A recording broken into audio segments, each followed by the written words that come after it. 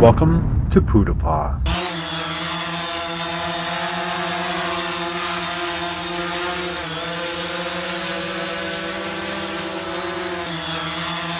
This drone is being used on fields to spray seeds, water, and other types of agricultural sprays. The drone has been used for a few years now.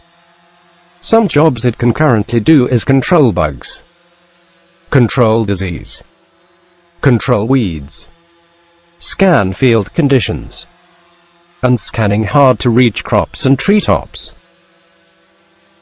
Crop spraying. The ultrasonic echoing and lasers adjust altitude as the topography and geography vary, and will avoid collisions. The drones can scan the ground and spray the correct amount of liquid, measuring the distance from the ground and spraying in real time for even coverage. Soil and field analysis. They produce precise 3D maps for early soil analysis, useful in planning seed planting patterns. The drone-driven soil analysis provides data for irrigation and nitrogen level management. Planting. The drone planting systems shoots pods with seeds and nutrients into the soil, providing the plant all the nutrients necessary to sustain life. Crop monitoring. Previously, satellite imagery offered the most advanced form of monitoring. Today, real-time series animations from a drone can show the precise development of a crop and reveal production inefficiencies, enabling better crop management.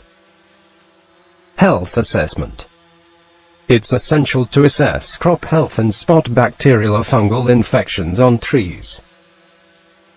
By scanning a crop using both visible and near-infrared light, drone-carried devices can identify which plants reflect different amounts of green light and NIR light. This information can produce multispectral images that track changes in plants and indicate their health.